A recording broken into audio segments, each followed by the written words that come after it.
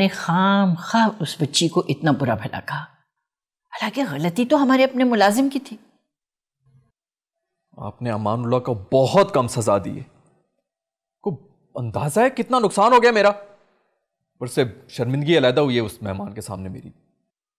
बेटा असल में उसको जमालदीन बिल्कुल पसंद नहीं। और अपनी चपकलिश में उस नालायक ने हमारा नुकसान कर दिया।